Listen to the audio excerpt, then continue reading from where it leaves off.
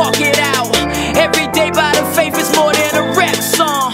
Take the gospel where past apostles got clapped on. He died on the cross for your sins. Amen. Gave you a